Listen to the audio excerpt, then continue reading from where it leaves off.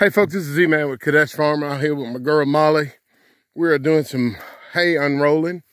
We uh, got a tow strap, got a San Jose bar that I have driven through the roll of hay. It's not the best quality hay because it had some broom sedge in it, but I actually took some molasses and poured it onto the hay to make her eat it because she loves molasses. As you can see her finishing up that hay that she did not want to mess with the other day. So we basically take this contraption and pull it on the four-wheeler. We're trying to build the soil fertility up out here. And I'm just using all kinds of methods. This grass or hay actually has some other type seeds in it that are desirable. And I will be buying a better quality hay to make sure that we get seeds and things of uh,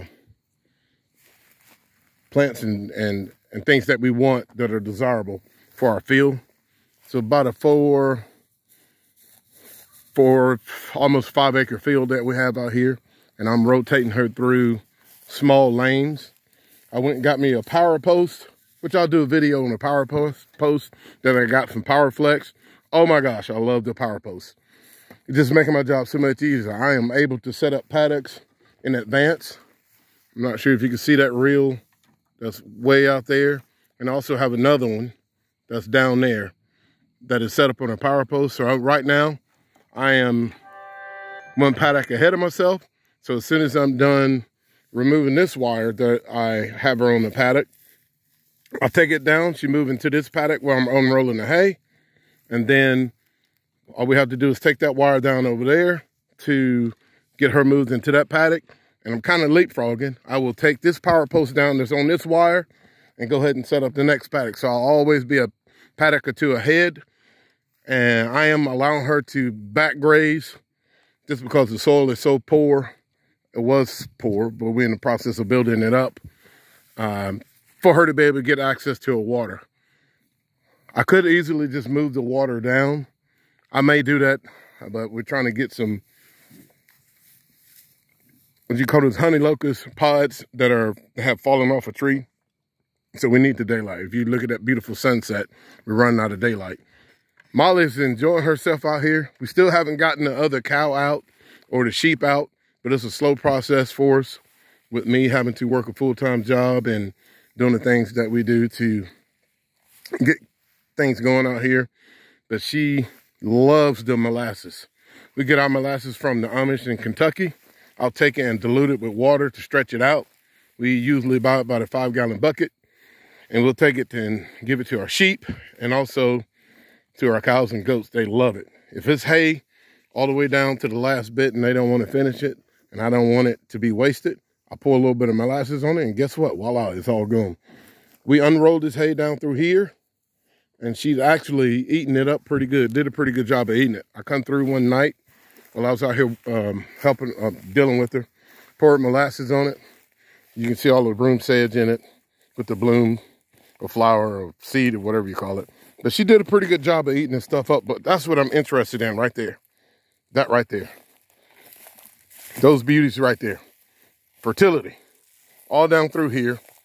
She's stomping this grass down and just mixing this stuff up pretty good and giving me all the nutrients in the ground that we need. I still haven't seen any earthworms out here. Of course, now we're getting into the fall. We actually had a couple of, maybe two, three days of frost. So a lot of earthworms are probably buried down. Actually, we haven't seen any out here. We actually put some up there by where my truck is. And hopefully they will spread.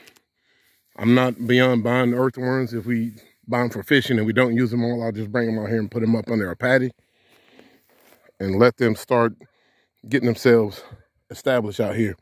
On our other property, we have dung beetles and I will be transporting some dung beetles out here because I haven't seen any. I've seen one. I actually saw one that was uh, a near septic tank that we have out here. It was, I'm not exactly sure why he was over there because there's nothing in the septic tank.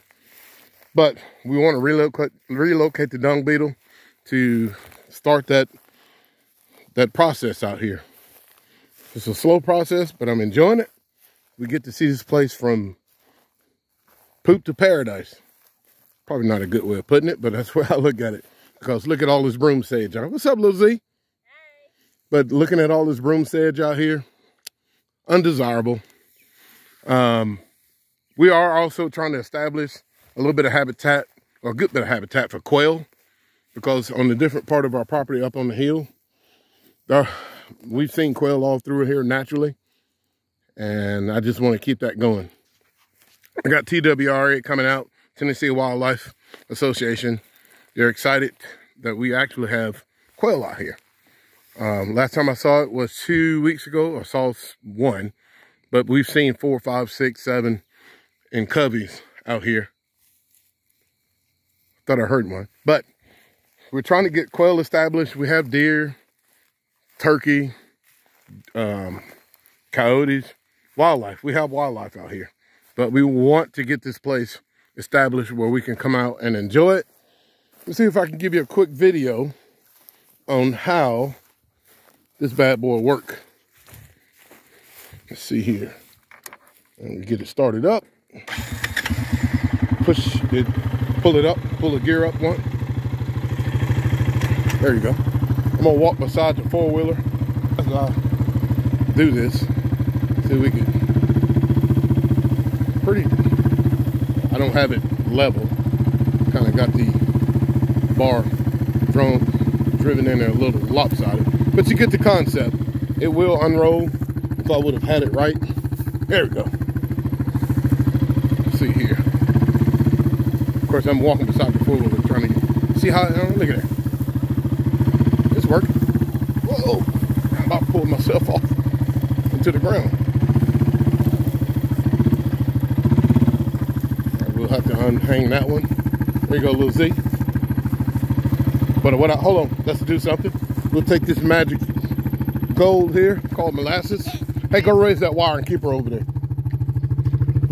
Micah, go raise the wire to keep her over there. Raise the wire to keep, well, never mind. She didn't made it across now. She should move it over there again because the molasses is over here. Yeah. And that's the only thing she cares about. Yep, she loves that molasses. But I'll pour it in and let it soak a little bit to let her get the smell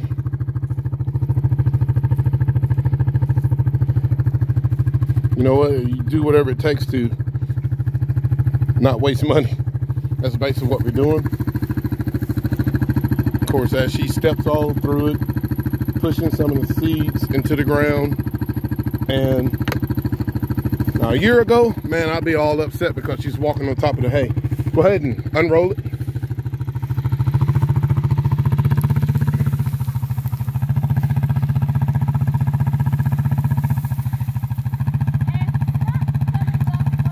Yes, down at the end. There you go. There you go. Look at there. Watch that wire. All right. That's okay. But it did unroll a good bit. But we got to turn the four-wheeler around.